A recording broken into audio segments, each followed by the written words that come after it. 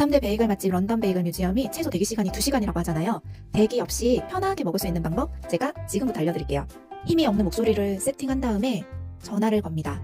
그런 다음에 오늘 컨디션이 너무 안 좋아서 쉴게요 라고 회사에 말하고 월차를 내야지만 가능한 꿀팁!